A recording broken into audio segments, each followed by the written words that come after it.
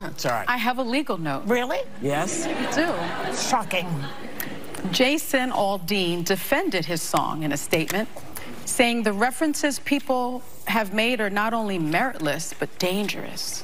He added, there is not a single lyric in that song that references race or points to it. And there isn't a single video clip that isn't real news footage. Did you ever hear of a dog whistle? And while I can try and respect others to have their own interpretation of a song with music, this one goes too far. No, he's, So I- that's what's one so interesting boring. about all of this is it does go too far. You've gone too far. We'll be right back. Yeah, but we defend his right.